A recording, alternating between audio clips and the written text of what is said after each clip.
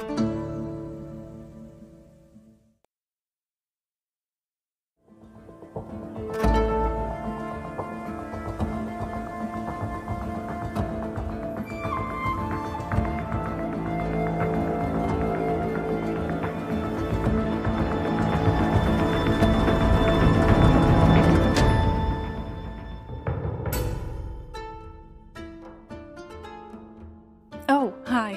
Yes, it's me again. This is Let's Talk About Myths, baby. And I'm your host, Liv. She who has learned so, so, so much during this run of Atlantis episodes. I've honestly been so blown away by what I've learned, both in research and in speaking with these archaeologists. I'm willing to bet most of you have learned a few things along the way, too. I mean, honestly, who knew Atlantis wasn't even a myth, let alone all the other wild and often troubling things floating just below the surface? Get it? Anyway, bad jokes aside, this is the last episode of my series of conversations with archaeologists about Atlantis, the real archaeology of the Mediterranean, pseudo archaeology, and even conspiracy. There is truly, deeply so much to say about the thing that the story of Atlantis has become. I mean, honestly, what would Plato have to say about the way his philosophical allegory has shifted into. Well, what exactly it's become is best explained in this very episode. I spoke with archaeologist Steph Halmhofer about Atlantis, but not really the Atlantis of Plato. Instead, Steph gives us a rundown on what Atlantis has become and how it got there. Steph is not only an archaeologist, but an archaeologist studying pseudo archaeology and conspiracy straight up cult style groups, and even the alt right. It blew my mind just learning this was a field of study, let alone its connections with Atlantis, and even an unrelated group that Steph studies that is from my own home island. But more on that later. This episode was so incredibly fun to record and to edit and thus learn it all over again.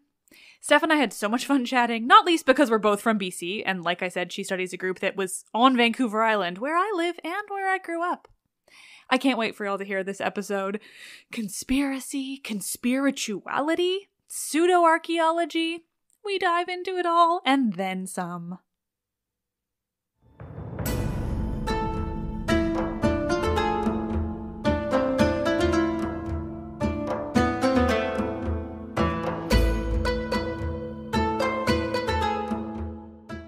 Conversations The Conspiracy and Conspirituality of Atlantis with Steph Halmhofer.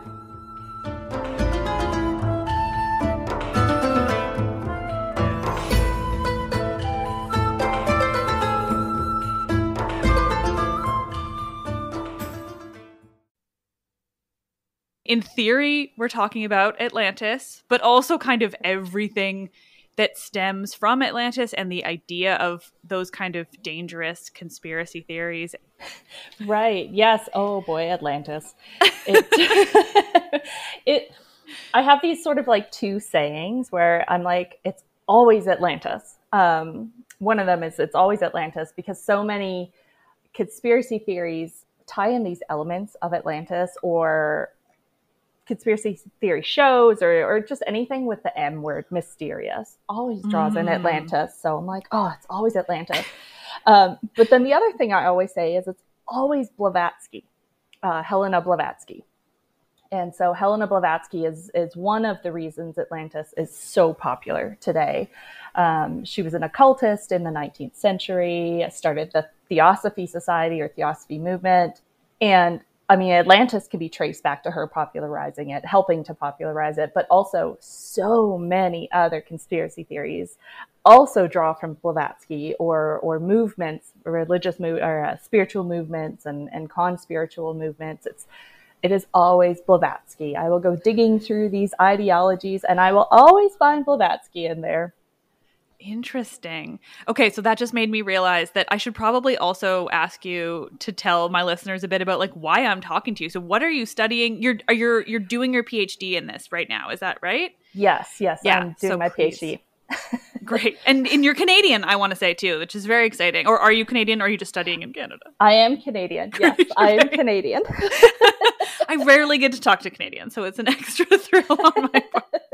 So silly. You know what's funny is like I have the same thought when it comes to like certain subjects that I'm interested in. I'm like, you know, I don't often get to talk to Canadians, but when I started diving into um, extremism research and, and getting to know the extremism experts, there are a lot from Canada, some really wonderful Canadian experts. So that was very exciting for me. That is good. We do love other Canadians, right? Like yeah. I have so many problems with this country, but I'm still like, oh, you're Canadian? Oh, that's cool. or like, they're Canadian. Right? Great. Right. it's yeah. true. it's our thing. It's like just bred into you. right. Do you remember the, uh, you remember the Tim Hortons commercial where it was like this couple was traveling and they had their like Tim Hortons travel mug and everywhere they went, they're like, oh, hey, I'm from Calgary. I'm from Toronto. Yeah. Yeah. We love to it's do like that. Yeah. yeah. I've made it my thing on the podcast, certainly when I'm having conversations with people, like, anytime like an actor is mentioned, like I find it's my obligation to point out if they're Canadian. And yes. I'll just like make make a point to like even interrupt just like really quietly, they're Canadian. Like it's it's necessary. so it, it, comes from my mother who always says it comes from my grandmother. So it's a yeah. long standing Yeah. That's awesome. Uh yeah. So yeah, so you're studying like please tell me yeah, tell me what you're studying it's it's so weird that sometimes it's hard to like summarize, right? Yeah. Um, I saw honestly one of the best recent um, descriptions was yesterday. I saw. I'm just pulling it up right now. There mm. was a a tweet from somebody who was kind of just joking around, but they said um, they were joking around about the the Q and one of the big QAnon conferences. That's not a QAnon conference. Uh, definitely not a QAnon conference. And so there was this person who had who had mentioned that um, memetic warfare. So memes mm. are very mm. popular within the, the alt right, and there's been this sort of meme warfare actually going on for for a time now. And this person was like, "Oh, mememic warfare has been going on for forever." And then this other person just retweeted that and said, "I picture archaeologists dusting off a faded pe- peppy meme they just dug up on the battlefield, marveling at the number of spelling errors it contains." And I was like, "Oh, yeah, that's that's my PhD. so basically, yeah, my PhD is uh, in archaeology. I've been an archaeologist for a number of years before I, I went back to school. Um, and I am studying what's called conspirituality. So, ideologies that are built from blending New Age spirituality with conspiracy theories. Ooh. And so I study how archaeology and pseudo archaeology in particular are sort of embraced within conspirituality, used to justify and support and build these beliefs in contemporary North America, but also historic North America as well. And so there's a particular conspiritual movement that I'm studying uh, from the 1920s and 30s that had a settlement on Vancouver Island. Uh, Vancouver Island, DeCourcy Island, and Valdes Island. They had three settlements spread across these three islands. so local for me. I'm thrilled. yep. I figured you would probably know. so yeah, I study this this movement um, called the Aquarian Foundation. They were called the Aquarian Foundation. They were led by a man who uh, called himself Brother Twelve. He claimed, I mean, he didn't give himself the name. He said it was the um, Ascended Masters that gave him the name Brother Twelve. That is the Blavatsky connection so yeah, he had the settlement and they were really into theosophy. He was also really into other conspiracy theories and they kind of he blended theosophy and, and these conspiracy theories and that's sort of what the Aquarian Foundation was built off of. But they draw there are a lot of parallels between this group in the 1920s and movements like QAnon today, which are nearly 100 years apart, but they're still into kind of the same things, the same basic conspiracy theories are, are uh, prevalent in both, and they're still very popular today as they were in the 1920s. So that is kind of what I do. That's fascinating. Where on the island? Uh, just south of Nanaimo. Okay. Yeah, you can tell I'm from here because I realize I literally just say the island and then I assume everyone knows what I'm talking eh, about. but it's, yeah, it's true. If you're from BC and, and somebody says the island, even though there are so many islands, there are so we many know islands. exactly which island you're referring yes. to. So, yeah well, Cedar by the Sea is where Brother 12 and the Aquarian Foundation built their first headquarters. When they first came to Canada, he was British um, and he came to Canada. Well, he had actually lived in, in Canada for a number of years, um, moved back to Britain. Um, or Europe, I should say, had this encounter with the Ascended mm-hmm. Masters in 1924, who told him he was going to be the 12th brother of the Great White Brotherhood and then in 19 he sort of published a bunch of stuff gained some popularity and then in 1927 is when he came back to canada he believed that humanity was transitioning into i guess kind of two different things so one transition was we were moving into the age of aquarius hence he named his group the aquarian foundation uh, but also he believed that there's so much like context and backstory here. The Blavatsky thing is basically she argued for seven root races, that there were seven root races that um, were sort of basically just different time periods in human evolution. And each root race uh, had seven sub races as well. Oh my God. Right? So we start off with the, the Polarians. They're a very ethereal race um, of people. They just kind of were these little blobs the Polarians evolved into the Hyperboreans. The Hyperboreans evolved into the Lemurians. Lemurians evolved into the Atlanteans. And the Atlanteans evolved into the fifth and the greatest of all the root races, the Aryans. Oof. Right. Big oof, big oof. And then the, the sixth and seventh subrace or root races hadn't yet come to happen. They were kind of going to happen in the future um, Brother 12 believed that he was going to begin the transition of humanity into the sixth subrace of the fifth root race, which was apparently very important. So, and all of this was going to happen in British Columbia um, on these islands. So he took his his disciples with him. They collected more because they landed. Um, think they landed in Toronto first, and right, obviously, it's Toronto.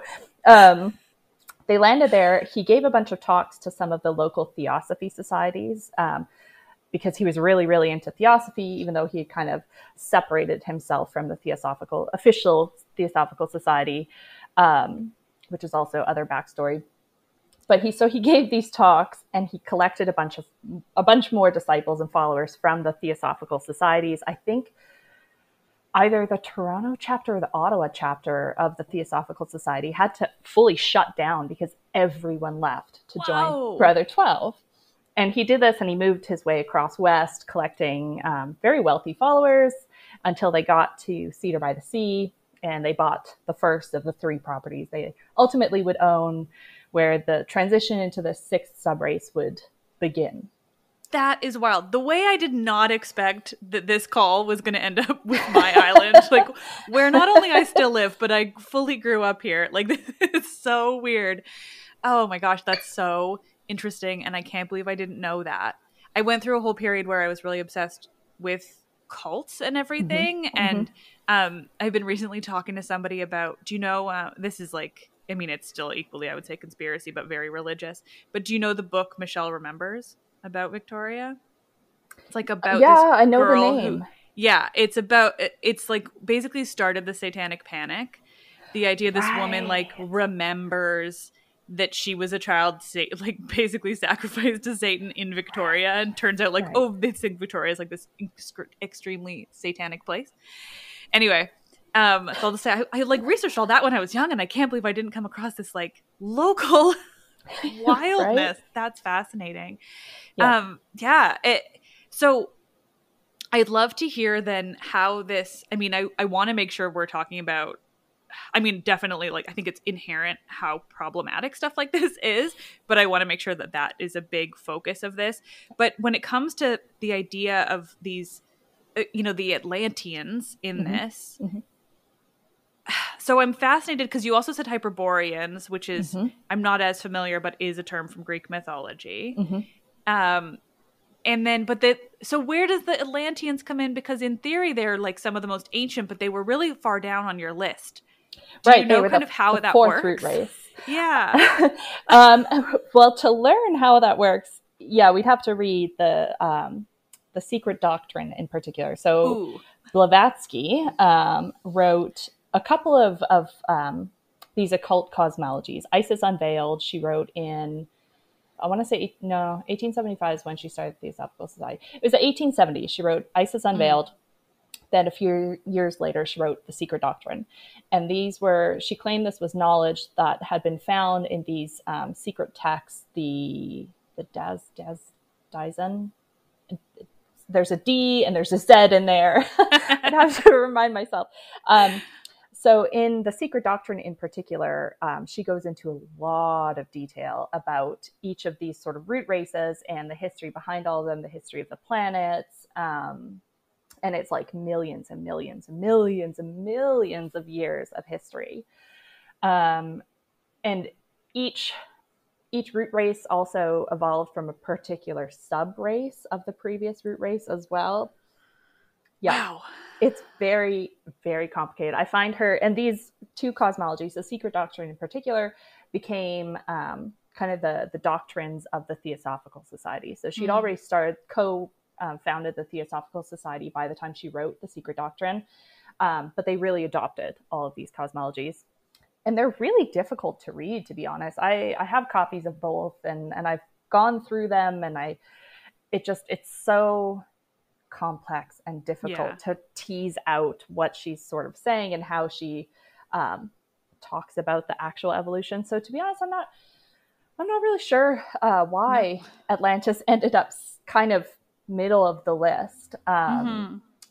It it just sort of fits in with her idea of these evolutions and life cycles and and whatnot. So I'm sure the complexity is part of it too, right? It's just that like the more complex, the more confusing and ridiculous to read, like the more likely it is that people are going to believe that she's really got all this knowledge because, like, oh, how could it be so detailed and complex a cosmology if it wasn't true? So, yeah, I can imagine yeah. it's just so troublingly intense. Exactly, right? And and she got this knowledge from these secret texts that nobody has ever seen. Ooh. Um, right? And for also from these ascended masters. Um, who also have all this like intense knowledge and they are they're not like physical beings they are these ethereal beings on this other plane that she could communicate to and how how do you doubt that right like especially at that time how do you doubt something like that just you can't see it but doesn't mean that this person isn't communicating with them so mm-hmm. yeah and she was also quite inspired by ignatius donnelly and his version of atlantis mm-hmm. as well so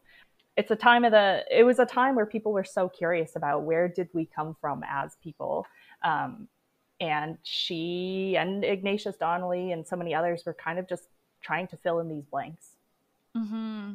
yeah i was going to say he's the other one that i think between the two of them that's we can probably trace all of the current atlantis everything to those two people both of whom came you know a couple thousand years after plato wrote about that yeah nonsensical thing that he was not trying to say was history and he did not believe and he was not telling a myth and etc etc etc you know it's an allegory plato wrote yeah. an allegory and and then suddenly 2000 or so years later these people are coming up with these yeah. wild stories of of how real it was and then how you know i think ignatius donnelly i have not read I have it, but I've not yeah. read through that yet. I don't want to say yet. I probably yeah. won't read the whole thing at least.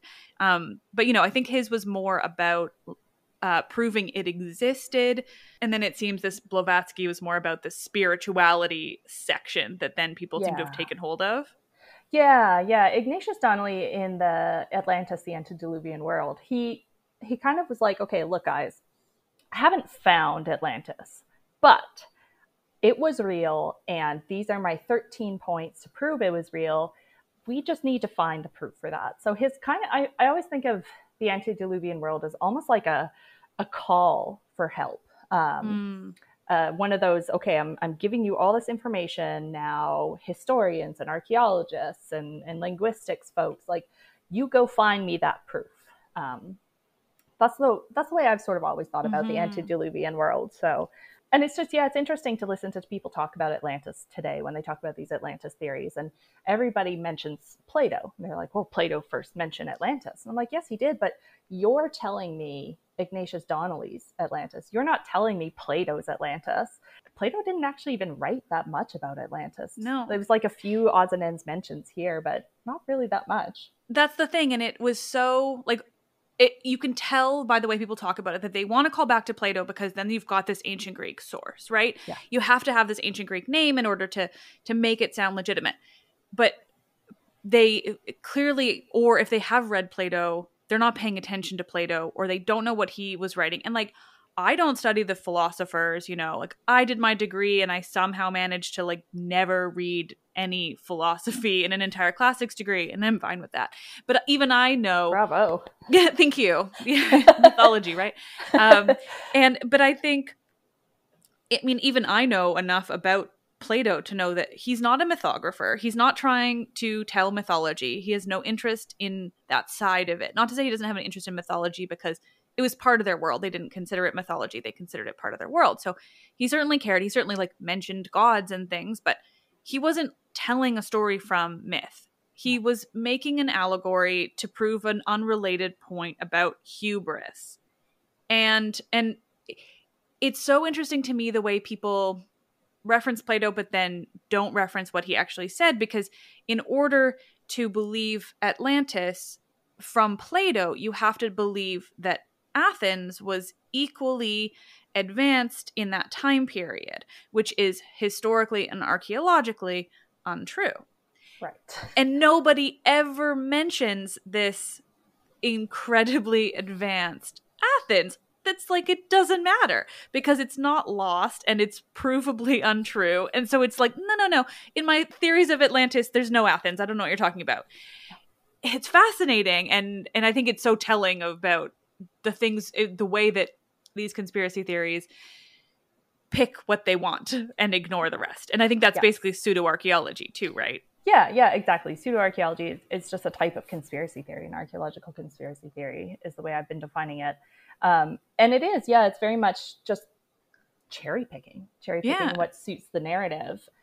And it's not to say that the information that's being used is is incorrect at times. Like if people are pulling from archaeological sources, historical sources, they're using information, but they're divorcing it from its context and they're leaving out certain bits and pieces and I guess counting on their audience to not go looking for that.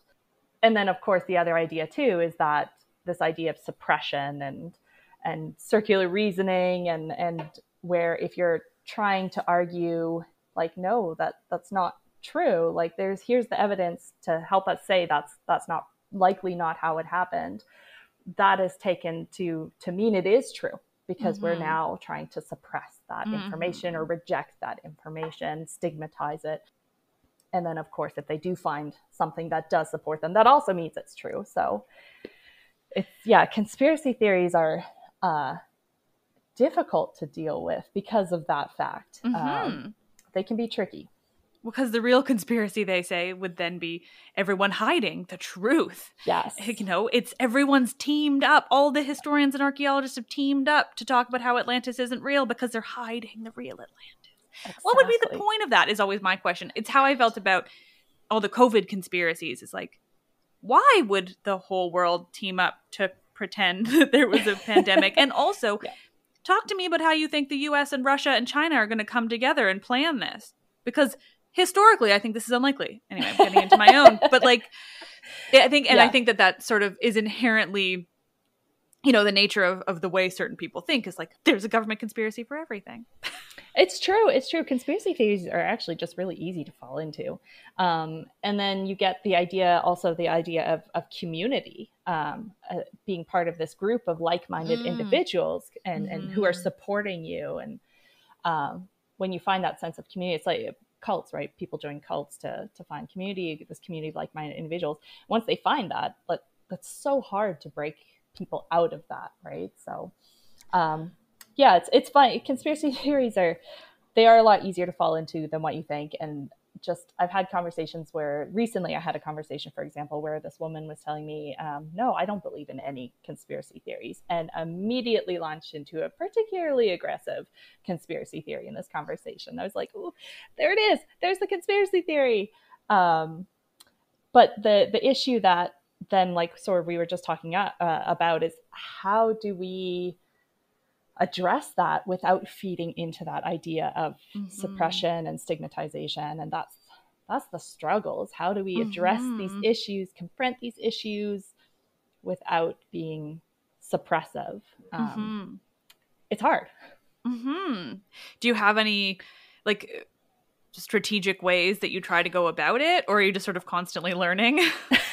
constantly learning. I yeah, it's tough. Um, I'm working on finding ways to address and discuss conspiracy theories without amplifying them. That for mm. me is kind of the first step because I think it is important to talk about these and I think it is important to highlight these ideas that are being shared and these these um, ideologies and these beliefs when they're built from archaeological knowledge, when they're built from our information. Um, I think it's really important to address that and and talk about that, um, but have to find a way to do that without amplifying the message, and especially when we're dealing with the alt right. Um, and social media is a great, wonderful tool to have these discussions on. And especially because we see examples of this everywhere, it's also a really easy tool to amplify these messages. Mm-hmm. So that's where I'm kind of at right now is trying to find the best ways to talk about without adding oxygen to it and driving attention and followers and elevating that. Another thing that I find sort of helps is when I talk about the the historiography essentially of these ideas, the, the development of these ideas. So when I talk to somebody about Atlantis and they say, well, you know, Atlantis might be real, um, I like to talk about how Atlantis went from um, fiction to fact, essentially, mm-hmm. and and I trace this path, and I find sometimes that that helps people sort of take an extra breath, and they it doesn't escalate in more um, in at least in the experiences I've had, it doesn't always escalate it as much as just outright being like, no, you're wrong. Mm-hmm. There are always exceptions to that rule. Of um, course. oh man, Atlantis has some fierce fanboys um, that I've tangled with a few times. But yeah. I'm currently I, deciding how I'm how best to release these and how much to put myself out there with them. I'm like Right. Right. Yeah. It, I, it's tough. It's really tough. And yeah.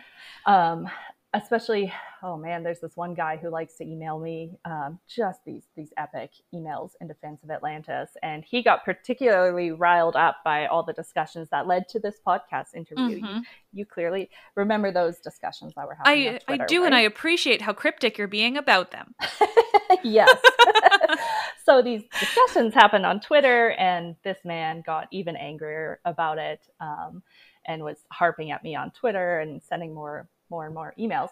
Mm-hmm. And it, it's especially, it impacts women, uh, marginalized genders far more than it impacts men. Um, so that's also something we have to consider when we're trying to discuss these is yeah like you were just saying how much can we discuss that's not going to or that's also going to minimize potential harm to ourselves mm-hmm. so it's yeah there, there's so many different things to think about um, when discussing these and but that's something that I also want to be part of my PhD is trying to come up with the best way to discuss these and address these without amplifying and trying not to feed into that stigmatized mindset either. So mm-hmm. right now, still learning, um, still practicing different things, but maybe one day we'll have a good idea. Yeah, I mean, just the way you were saying about tracing the the historiography of it, that's sort of what I and I haven't I haven't written at the the time of this recording i have not written the the episode or episodes that will accompany them um, and so i intend to to have these narrative episodes that basically just track what happened because i do think my t- go-to and you know it tends to be i don't i don't really dive in on twitter because i have sort of learned my lesson there. Yeah. um but i i just kind of go straight to the plato didn't believe it was real and let me tell you about that kind of right? I think that's it's one of the simplest and it's certainly you know unless people are really deep like if people just have a basic idea of it that they think is real they're going to second guess everything by just hearing that like no no plato that wasn't even what plato was doing he he didn't seem yeah. to believe it at all if you read it it's it's definitely an allegory it might even be tongue in cheek like there's so much you can read into the very the only ancient sources we have for atlantis that's the the clear the clear point to make too is it is the only ancient source that yeah. mentions Atlantis. there is yeah. not a single other. And thus, like that, you know, there's there's so many things that should make it obvious and then it's yeah. interesting when it's it doesn't make it obvious to yeah. people yeah atlantis from what plato wrote of atlantis mm-hmm. atlantis sounds like an amazing place like mm-hmm. what a cool place to be with all these like gold dolphin statues and these like rings of land and these huge amphitheaters and structures and all these things like what a cool place and enormous too. I, I, think he described it as larger than Asia and Libya combined. And of course, mm-hmm. this is based on on what the Greeks knew of those land masses and how they had mapped it at that time. So, so not necessarily Asia and Libya as we know it today, but the general idea still exists that Atlantis was enormous. Mm-hmm. So why was Plato the only one talking about it? Where exactly. were the people traveling to Atlantis? Where the where are the people trading and living there and moving in and out? Because we know that the Greeks were were record keepers. They loved mm-hmm. to write shit down. Um, yeah, even if it's right? just like a linear B reference to because yeah. of course this is Bronze Age, and you know the the whole thing then is well it was so many thousand years before, blah blah blah. But even still, like you know, the likelihood is that we would have a linear B reference to like, well, we gave them some wine, or we yeah. gave some wine to some people who were just past those ruins of Atlantis, you know? Yeah. Like there there certainly would be something. You yeah. know, Herodotus would have heard about it. And even he made up a lot of history at times, but he also did travel around and talk to a lot of people. And, you know, Herodotus would have heard about it at the very least in, you know, all of his his talk. And yeah, they, that's the thing, you know, there there would be at least one other reference, but there would certainly be lots of references. Were yeah. it true, or or were there some kind of um, you know epic event that caused the fall of Atlantis? Yeah. And then, of course, the ultimate thing is, well, where is this super advanced Athens then? Because yeah. we have all the archaeology of Athens, and like Bronze Age Athens was pretty meh comparatively to other Bronze Age sites in the area, right? Like, yeah. it, you know, I think yeah, it's best described as meh. It wasn't not there, but right, yeah, it wasn't one of the big ones. No, not at all. Um, and you know, we're always we're always learning more. Obviously, we're always uncovering more. We're always learning more. Um, part of archaeology is being flexible and, and accepting new ideas and we're always accused i'm always told oh you're closed-minded archaeologists are closed-minded. No we we are extremely open-minded. That's how our um, knowledge shifts and we learn more and we um, adjust our, our, thoughts as they come about most of us. Mm-hmm. uh, um, so yeah i mean you could argue sure maybe there's the possibility that one day all this information will be uncovered but what like I would expect to it, it has been uncovered by now. Mm-hmm. So many people have gone looking and again thinking of the size, the the materials that they had.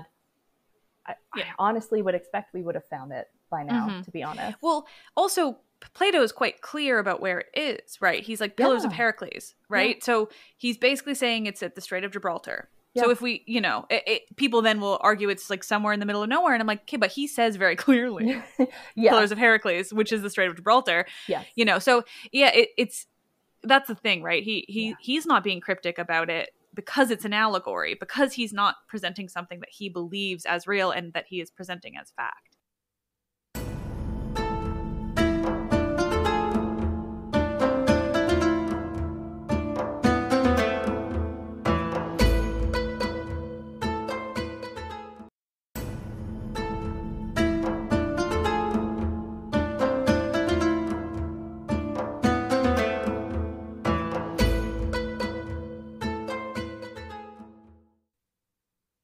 One thing I really want to make sure that we talk about with you, because I think you're probably my best source for it, um, is how harmful mm-hmm. these things can be. Mm-hmm. Um, specifically, and I know base level amounts of this, but but the way that it's then used to justify um, white supremacy.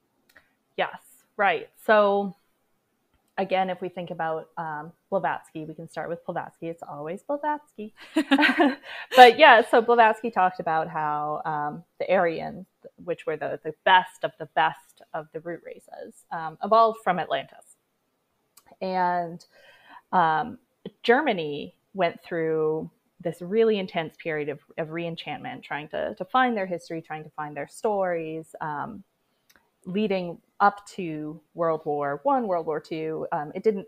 The stuff didn't just start in World War Two. It started a long, long, long time before that, and um, some of the the influential thinkers um, who were part of this reenchantment that ultimately um, the Nazis ended up attaching themselves to this line of thinking. They were really enthralled by Blavatsky's idea of Aryans and Atlantis, and they combined that with many other sources um, to essentially create this idea of these Aryans as being like almost supernatural beings, these incredible beings with just like super white skin and blue eyes and super, super powerful. And so during World War II, the Nazis, they had the, what was called the Ahnenerbe, the um, SS Ahnenerbe. It was like their archaeology and heritage division. Mm. And they were very interested in finding proof of the Aryans, kind of the Ignatius Donnelly approach to Atlantis. They were interested for the Aryans. So looking for this archaeological proof of Aryan homelands and centers and all this stuff. Um, but part of that involved also looking for Atlantis because they were looking for their homeland essentially. So they're looking for the Aryans, but where did the Aryans come from? So they were looking for Atlantis. Um, and so, yeah, that was that was a bigger part of the war. Oh, it wasn't like an enormous part of the war, but it was a bigger part of World War II and, and Nazi ideologies and beliefs than many people realize. Um, mm-hmm. And so, since then, you have um, Atlantis, at least from what I've been looking at, Atlantis traveling into from the original Nazis right into neo-Nazism as well, um, and this I through this idea of Aryan. So there are um, a lot of, and I, again, I'm just focusing on North America, not mm-hmm. necessarily European groups, but in North American groups, um, you have a lot of a lot of neo-Nazi movements um, or, or individuals, high-level individuals who've spoken about Atlantis and talked about this history and um, because of its connections to Aryan. You've got leaders. There was one man who was a leader of some major American neo-Nazi parties in the 60s and 70s who now writes books, book after book after book about Atlantis. Um, and Atlantis in North America. North America, he rewrites North American history to suit these ideologies. You have other folks today who, his most recent book actually was published just this last July. You have other folks who write for some um, big time white nationalist websites, and they also talk about Aryans and Atlantis, and they pull in, they even actually pull in ancient aliens. Um, I've mm. seen one guy talked about the show Ancient Aliens, and he just argues, well, no, no, no, they're not. They're mistaken when they're describing aliens. They haven't found proof of aliens. They found proof of these Aryans, and they just need to recognize that. There was a, another neo-Nazi group in 70s. I have to find it again. Who um, had Atlantis in their name. There's mm-hmm. other neo-Nazi groups who write these very long um, manifestos uh, talking about the history of there's one in particular i'm thinking of who has this very very long manifesto describing the, the history of aryanism and they also draw in atlantis. So it's yeah it's just through these like it's almost like the telephone game. You start off with this one idea blavatsky and then as it gets passed on it changes and it changes and it changes um, into what a lot of white nationalists and, and neo-nazis are using today. Mm-hmm. well i think you know, even just simply and from my non research in it, it seems like the easiest way to counter the idea that everyone came from Africa is to say that no, there's a subset that came from Atlantis. We just don't have it. Yeah, yeah, yeah. exactly. It's true. And I think that's also why so many people, um, a lot of these sort of groups latch on to archaeological knowledge. And because it's this idea of Atlantis is very intangible. Um, archaeology provides tangible. It provides these things you can hold, you can go see, you can travel through these rooms um, at these sites. So it gives something tangible to the intangible. So I see a lot of um, groups and individuals trying really hard to pull in archaeology and tie it to things like Aryan and Atlantis, or just these other white uh, European ancestors, thinking about the Solutrean hypothesis in particular, um, just to find, to, to be able to say, look, here is this tangible item that proves this all true, um, even though it doesn't. And again, the, like what we were talking about earlier, it's that divorce from context and filling in these blanks with our own uh, narratives. Mm-hmm. It's extra fascinating too because, I mean, if you think about it, if you just let yourself kind of believe that sure actually the one time you know plato was actually secretly telling us this history even though you know he didn't actually do that. Yeah.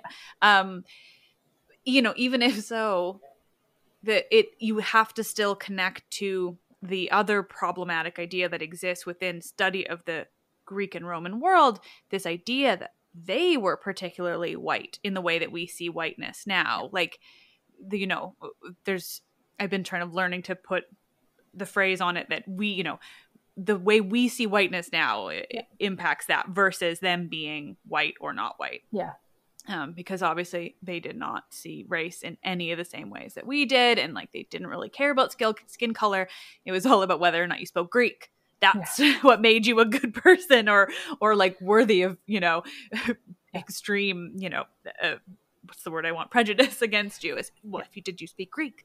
You yeah. could be you know person that we would call black but if you spoke Greek you're fine. Um, because yeah I mean in the ancient world they they traded throughout the whole Mediterranean which includes Africa and the Middle East and they absolutely traveled around and emigrated and all of these different things where the idea of whiteness placed upon Greek or Greece and Rome is so absurd and, and nonsensical that you know you have to have this just this alternative view of all of it. You know, you have to believe yeah. Plato and you have to believe that everyone was white, even though it's simply marble has lost its color.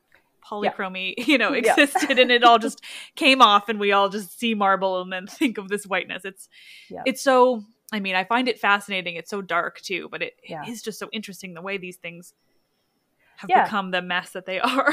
yeah, it's true. And and the thing about conspiracy theories too, and, and stigmatized knowledge, um, which is a particular term coined by Michael Barkun, who has written some wonderful, wonderful work about conspiracy theories. But people who believe in one conspiracy theory tend to believe in others, and mm. all of those come together to form a particular worldview that this person holds. So, yeah, this idea of um, ancient Greeks being only white um, and tying that to Atlantis, you have to also believe, like you were just explaining, in other sort of conspiracy theories that help support each other to create this particular worldview. Mm-hmm. I mean, and all of these reasons are why I want to, to to create these episodes on Atlantis because it's not about just like disproving Atlantis. That's not the point, right? Like if it was just about people believing in this like ancient world that was kind of cool and that's all it was, then who yeah. cares? Like let them yeah. believe that. You know, but it's it's all of the the problems that stem from this belief and all of the racial yeah. issues and the straight like dangerous racist ideologies that come out of this and you're like, "Okay, well I would like my listeners personally who are good-hearted and not racist and not sexist and not misogynist and all of these different things i would like them to understand that atlantis is not real for all of these reasons. And I, it just interests me so much in the idea of how it became this because yeah. you know growing up i think we're probably a similar age. Growing up we had the disney movie you yeah. know yeah. and i always just believed atlantis was a myth mm-hmm. not necessarily that i believed it was real but i believed it was a greek myth mm-hmm and then getting to a point where I learned that it is not remotely a Greek myth, that alone was mind blowing to me. And I think most people think it's a myth, even if they don't have any strong views about it as history or conspiracy or whatever, but they at least think it was a myth because yeah. the world treats it like a myth. Yeah, it's true. It's true. And especially, I mean, it doesn't help that we have all these these documentaries coming out on History mm. Channel or Discovery Channel or Travel Channel or whatever that are all about finding that evidence for Atlantis. Mm-hmm. Um, there's this this concept called discovery paranormalism, um, which comes from David Anderson and, and Jeb Card. They didn't come up with this term, but they've sort of begun applying it to pseudoarchaeology. And, and discovery paranormalism sort of refers to being the first to find the proof of something. Mm. Um, th- that is a very simplistic way of describing it, but that's part of the thrill. And so when you watch these shows, it's it's kind of like equal parts finding proof of Atlantis to prove these conspiracy theories true or prove your ideas right, but also just that thrill you get from finding, being the first to find this evidence. So, and that just, when you have um, folks who don't really know the history and they don't really know all this background context um, that that we are all very privileged to have because we happen to be within these fields and these disciplines and we have access to these resources it's kind of easy to to fall for it. Um, I I don't blame anybody for falling for pseudo archaeology, any pseudo archaeological theory. I'll never be mad at anybody who falls into that. It's really easy to see why. Like those are the books you get on the bookshelves. Those are the shows you get on Netflix and Prime and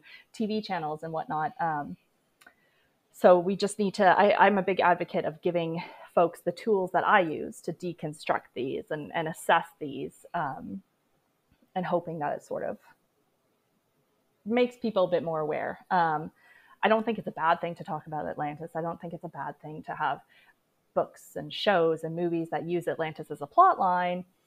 But you do have to acknowledge that side of the Atlantis story, this dark mm-hmm. side, how Atlantis has been used to cause some really serious harm to people. And I'm talking like physical harm to people. If you're going to use Atlantis as a plot line, acknowledge that shit, talk about it, make people aware, make yourself aware, and don't repeat that. Um, yeah. Those are my concerns. Yeah, I think that's so valid. I mean, yeah, and to be clear, like I think that Disney movie is great. Like it's so fun. I loved it's, it. It's wonderful. It's an yeah. incredibly entertaining movie. It's yeah. more entertaining even when you understand how little there actually is like yeah. you know it, it, like how little history how little you know you, there's that the whole sort of beginning scene where he's laying out his whole argument and you think oh my god look at all of this so much evidence. And he's like yeah. no. Literally yeah. no yeah. Um yeah so that's the thing right? It's well and that's why you know to any of my listeners who didn't know that Atlantis wasn't a myth or who didn't know all the, these problematic things and just assumed Atlantis was like this cool idea or this cool lost city or all of these different things yeah like no blame. Like I used to think it was a myth until probably until this podcast where I, you know, just read up enough. Like I don't even think in my degree there was any reason for anyone to just come out and say Atlantis was never a myth, right? It just doesn't yeah. necessarily come up. Whereas it does come up in pop culture to teach you that it is a myth. Yeah. Um, and so yeah, it's more about just pointing out that you know it's it wasn't a myth it was not history you know all these different things and but also specifically the harm that has been caused in its name and thus why you have to like be a little careful about the idea of it and, and yeah. you know what you believe and why and where you've gotten it from and you know yeah. who had these ideas also and yeah i mean yeah. the fact that the nazis were looking for atlantis i think is is a good thing to know because I think it makes yeah. a connection there between, yeah. you know, perhaps you know what what can become a problem with believing or not necessarily mm-hmm. believing, but you know, just the side the the different aspects of it and, and where it has gone over mm-hmm. time. Yes, exactly. And especially I like your point about knowing where that information came from. If you're going to use something, know where it came from. Um, I think about like a, a comic series that I, I, read that I really enjoyed, but um, was based on Atlantis and kind of in the back of each um, issue. I, Dave Anderson talked to you about pop culture. I'm assuming he talked about pop culture. He's a pop culture kind of guy. To an extent, we talked about the move, the Atlantis movie, and like a couple other things, but I don't think about. Okay, this. so yeah, I'm not sure if he would have talked about this series or not, but um, it's it's a great series. I really enjoyed it. But at the back of each issue, there were like um, I guess supposed to be like diary entries from mm. the character that the other characters were looking for in the mm. series. He had disappeared while searching for Atlantis. And um, so they find his diary, and I guess each of these issues is sort of a diary entry. Um, and it's clear that these comic creators did a lot of research in by like the information that's in these diary issues um, or diary entries, you could go on Google and you can find a lot of this information, these theories that people believed, or these like illustrations of maps that actually exist, stuff like that. Um, which is is great. Like I like detail and accuracy, but also in this case, like where did that information come from that you are now putting into your comic and broadcasting out to your your audience? And I see I've seen some of the things in those diary entries picked up by uh, some QAnon believers who talked about kind of the same things and, and stuff mm-hmm. like that. Mm-hmm. So that's why I think it's it's so important to know where that information came from, acknowledge that, own that too. Like I know other um, pseudo archaeologists and, and, conspiracy theorists. I've seen one in, in, particular. I'm thinking of a video or um, one of his books where he was writing about. Um, something to do with Mars, if I remember correctly, in this particular section. And he's quoting this one person quite often, information from this one person. And it's basically like, yeah, this guy was a Nazi, but that doesn't really matter. Uh, it actually does matter. Um, so yeah, be aware of where that information is coming from. hmm I mean, I think it should always matter if a person was a Nazi. There's a Yeah. lot of groups where it maybe matters less. I think it always matters if somebody was a Nazi. Yeah. Yep, yep. I've been I've been told um, when talking about this the Nazis and Atlantis, I, I have been told by this individual who I mentioned earlier who likes to email me and talk on Mhm. Twitter that you know it's time to let's let's move past the Nazis. Stop talking about the Nazis. It's time to kind of move on. We've heard enough about the Nazis. I'm like, mm, I don't think we have. No, I No. don't think we are, as a humanity, are ever allowed to move on. Yep. That should be the point. We're not allowed. You're not allowed to ever say like we've moved past the Nazis. Nope. Nope. that's Nope. that's why they say history repeats itself. Like Right? you know, History is repeating itself right now, so be Oh, aware yeah. of that. more so. than ever. Yeah, absolutely. Yeah, exactly. Yeah. Oh man, Atlantis. Always an interesting conversation. Yeah. uh, well, um, I mean, what else? Like, this is just fascinating and it's fun, and I, uh, yeah, it's nice talking to a woman about this as well because I think you get a you have a different side of it. Yes. It's also damn fascinating. So if you, it is it is it's just yeah it's um it's one of those things that i think archaeologists are really really opening up to i think Hmm. you know we we knew it was there um but to what degree we weren't entirely aware and i um, I spend time going into really terrible places on the internet and just to see what people are saying. And uh, it is shocking, even to me. Like, I expected to find archaeology, I expected to find pseudo archaeology.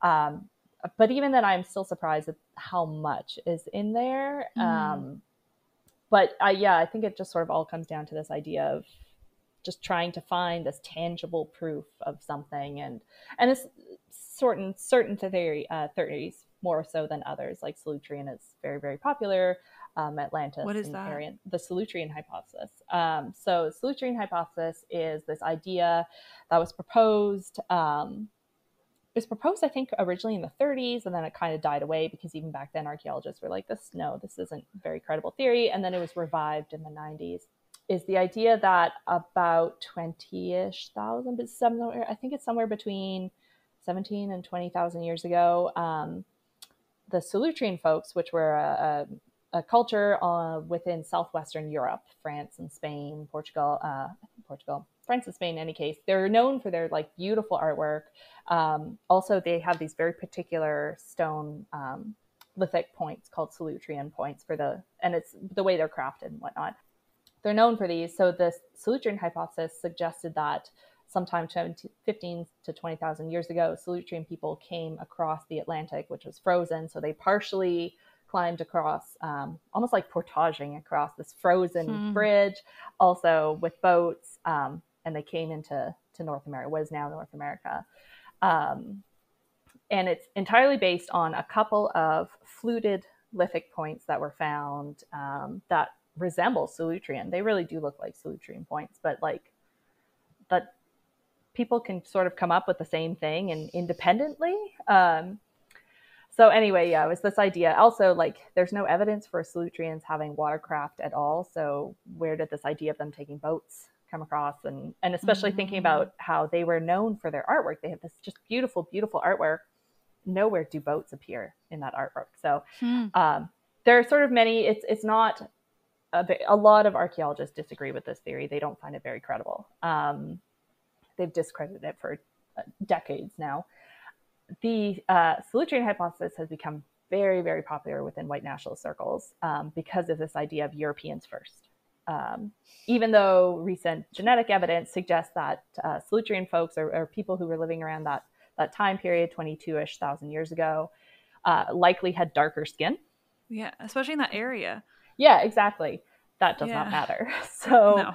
Uh, yeah, within white nationalist circles, the the Solutrean has been very, very adopted. Um, it appears on particular white nationalist websites within this sort of manifesto on one white nationalist website. It's like the first thing that's discussed. Hmm.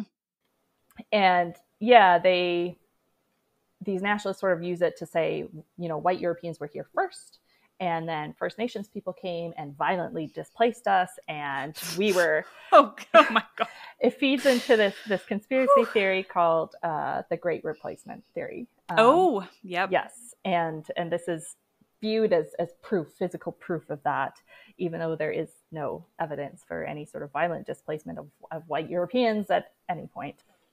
No. But yeah, that is a very popular Wow. popular theory. Um, it also, like I was saying, it's been widely discredited by archaeologists. But a few years ago, the CBC um, on the nature of things had uh, a documentary dedicated to the Solutrean hypothesis and the "what if it is real" type of thing oh gosh. and that was a whole thing. Um, the director archaeologists immediately were like, "Whoa, whoa, whoa, hang on, uh, this isn't particularly great." Um, part of the issue was in the early 2000s on Discovery Channel. There was uh, a documentary about Solutrean hypothesis that used only white actors, and that also sort of is what fed into this idea of um, or why white nationalists adopted is they they cite that documentary quite often too so there was concern about that essentially being repeated through the CBC.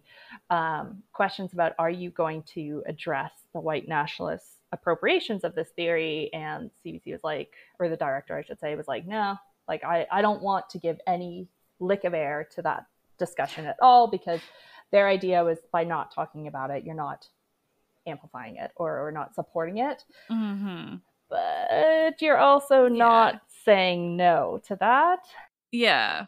And you're not pointing out the problematic nature of the theory in general. Yes, yes. So that was uh, there was an interview for um, one of the big newspapers about that, and that's where this director was saying that. But then also one of the archaeologists also said that uh, that that racist appropriation side was not his issue, and he can't control how people are going to use the theory. And I, that line, oh, definitely, uh, yeah, white middle aged man.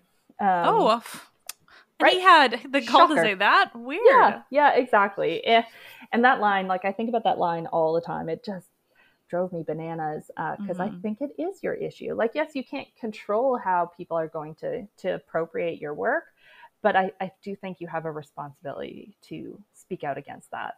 Mm-hmm.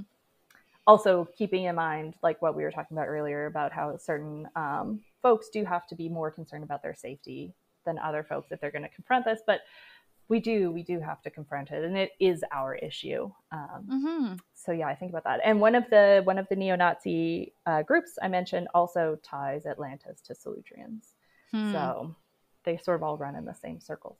hmm Well, and I think as Canadian too, we have a.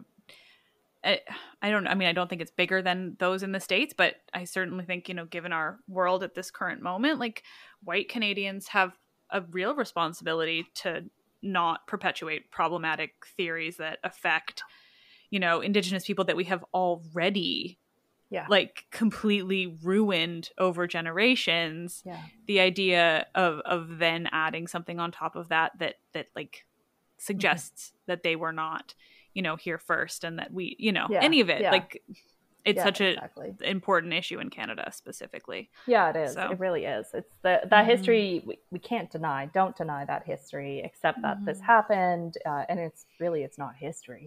Um, mm-hmm. yeah, don't deny it. Don't rewrite it. Don't try to like alter it to make yourself feel better as a a white settler Canadian. You know. Mm-hmm. Yeah. Gosh, absolutely. Oh my gosh. I guess this is just something that's occurred to me, but um, are there archaeologists working on residential schools? Then is that like a thing happening in Canada? Yeah. Um, so archaeologists, it's it's not archaeology. That work is, Yeah. is very clearly not archaeology. Um, archaeologists have uh, some archaeologists do, not all, um, but some have a very particular skill set in using GPR equipment um, to be able Mhm. to uh, analyze the data in particular ways to um, determine if there are graves or not. Um, Mm. And it, it's a very particular skill set and it's a very small number of archaeologists who have that skill set. Um, one of my my phd colleagues he's also doing his phd uh, he and my supervisor he's also um, my supervisor student they are some of them uh, some of those very small group of, of archaeologists who have those skills. And um, the group that i'm part of has sort of my supervisor in particular has really taken the lead on starting those conversations, drawing together these archaeologists. We've been putting together resources to give to communities because not um, there are so few of us that we can't possibly expect to go and do the physical work ourselves. But we also want to make sure that if communities are going to hire um, like geophysics companies, they know the right questions to ask to help them feel more assured that they're going to get the right information or get as much information as they can. So, hmm. um, yes, we've been very, very involved in that. Um, That's great. Yeah, we've been we've been working with several communities. We've gone and done uh, a few surveys. That's where I was the other week. I was on one of the surveys, and um, so yeah, we, there are a lot of a, a, fair number of archaeologists now who are working with communities for that work specifically. That's great. I didn't know that. That's yeah. I mean, that's yeah. so important, and yeah, the government should be doing it. But hey, they're not. Yeah, uh, they definitely should be funding it, and and they're yeah they are to some degree, but it's the funding they've announced is not enough. No, no, not enough. No. Oh Lord. Anyway, Canada. I so rarely talk to Canadians, as you can tell. I'm like, oh my gosh, yeah. things that other people understand. That it's so. It's. I'm usually like explaining half the things to anybody. Right. so nice. Yeah. Um, yeah. Oh my gosh. Okay. Well, this it turns out when I get along with people, that means for a really disjointed but really entertaining conversation. So thank you so much. I just want to kind of wrap things up for however I cut this together, yeah. but thank you steph so much for doing this it's so fascinating and interesting and i mean obviously it's so dark i i have so much trouble with i sound so excited talking about how interesting but it just i mean that the way all of these things happen and how they get to these horrifying points interests me so much mm-hmm. It's mm-hmm. just my god i mean it must interest you too because you're doing your phd in it so. it's true and we should be interested in it because yeah it's through that interest that we become more aware right so that's so true yeah good glad to hear it um, well, do you want to um, share where people can maybe learn more about your research or follow you or anything? If you don't want to, that's also fine. I am not a hard person to find. You can find me on Twitter. Um, are you gonna Are you gonna include like links on your like website? I can. Yeah. Okay. Whatever. yeah. Want. Yeah. That's yeah. totally fine. Yeah. You can find me. Twitter is where I'm most active. I'm all over Twitter, um, and that is definitely the best place to find me wonderful. I think it's such really interesting and obviously important work that you're doing researching this kind of stuff. And I didn't even, I guess it didn't even occur to me that, I mean, certainly archaeology in it is so interesting. And now, of course, the more we hear about Atlantis, like the more I think it's obviously important, but I'm glad to hear people are doing it. if not yeah. always specifically Atlantis, but you know, it's all yeah. so interconnected that uh, it yeah, is. Gosh. It is. Sometimes Atlantis pops up in surprising places. I bet. Yeah. The yep. more I hear, the more that does not surprise me. It has gone everywhere. Yep. It's always Atlantis. It's always Blavatsky. uh, well, thank you so much. This has been so great. Thank you very much.